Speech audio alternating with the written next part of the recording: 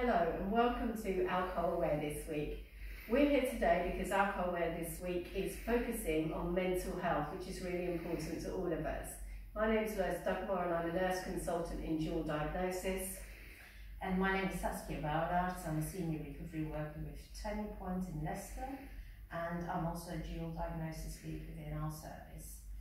Uh, this week uh, we'd like to focus on um, alcohol because we see a lot of people together in our clinic, our outpatients clinic at the Bradgate unit, people who are struggling with drug and alcohol issues. With regards to people struggling with um, alcohol problems, we triage people in our clinic who struggle with their drinking. Uh, it can affect people on lots of levels, on a physical health level, but also on a mental health.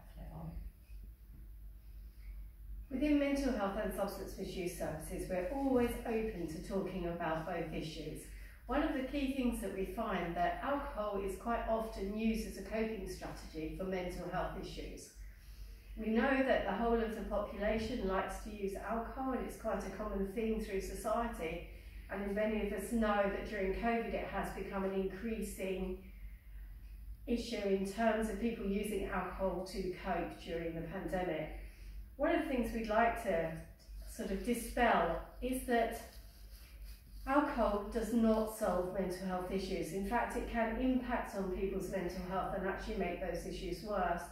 Long-term use can lead to greater problems. It can also affect many functions within the brain.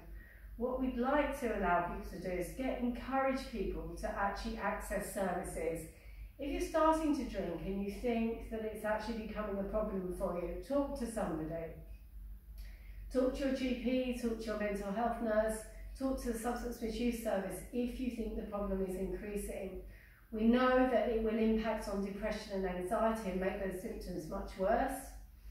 We know that it will affect people who have any form of psychosis. And we know for the generic, generic population, the more we drink, the more depressed that we become. We initially think we feel that we're having a good time, we're the life and soul of the party, but actually when you talk to your friends, do they really think you're the life and soul of the party? Probably not. They probably have yet to tell you that they think you have a problem. Start to look and identify what you think may be the issue. Are you needing to drink first thing in the morning? If you are, then maybe that's something that you need to think about most people would not think of getting up at 7, 8, 9 in the morning and starting to drink alcohol. That is one of the indicators that you have an issue. Craving a drink because you can't think about anything else. Basing all your activities around alcohol can also be a sign that it is a problem. We know that alcohol is the easy thing to reach out and get. It's easily available, everybody seems to do it, but actually not everybody has a problem with it. So if you're beginning to think it's a problem, somebody else is identifying it, then we have many ways in which you can access services to gain help. And one of those services is a Turning Point Substance Misuse Service within Leicester. We cover Leicester, Leicestershire and Rutland. Um, we offer one-to-one -one support to people at the moment. Um, we are open to working with people who may initially think that their alcohol is becoming a problem, but they're not dependent, but it is a problem. But we also work with people who are dependently drinking. We do lots of um, group sessions as well, which are at the moment offered on a one-to-one -one basis. So um, people can also access e-modules with us online. So if people are feeling more comfortable behind the computer, then that's another uh, solution that can be offered to people through Turning Point. And I'd like also um, to provide a um, website that people can access. It's www.alcoholchange.org.uk as an alternative to Turning Point.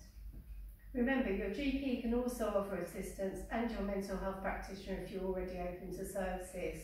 Don't be afraid to ask. There are lots and lots of people out there who are willing to help and change is always possible. Thank you.